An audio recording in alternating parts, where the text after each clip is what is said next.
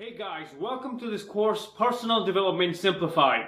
Before you start, I would like to talk to you about a couple of things. First, writing in a journal is an absolute must to get the best out of this course. See the attached sheet for what you should be writing. There is also a dedicated lecture in keeping a journal and writing in section 3. I placed it there so it gels with the rest of the course.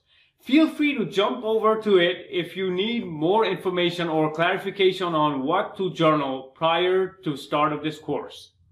I want you to start with journaling all the feelings and emotions, both positive and negative, especially that trigger strong emotional reaction throughout the day.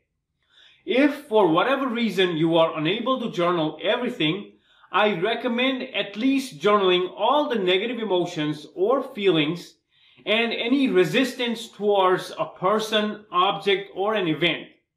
Carry a mini journal with you and write about these emotions and feelings that stir up when they are fresh in your memory. What were you doing when you felt these feelings?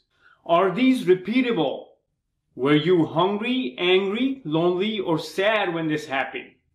What could have been the underlying issue that could have caused this strong emotion? Any detail you can think of, write them down. Journaling is a habit you should carry outside of this course. It is absolutely necessary for you to journal frequently as you take in the material from this course. What you need to journal is 1. A pen, 2. A notebook, I do not recommend digital journaling, especially for beginners. The second thing I want to talk to you about is it is essential that you do not finish this course in one day.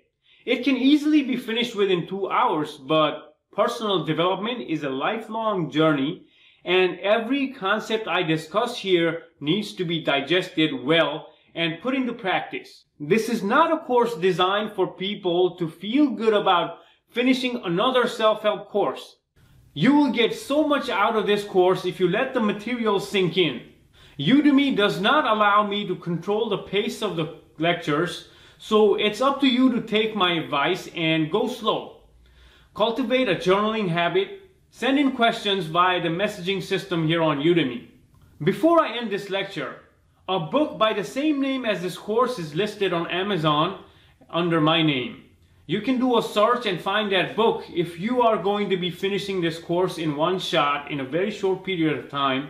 I recommend getting that book as a reference. It is not necessary to buy the book for the sake of this course, but it might help you.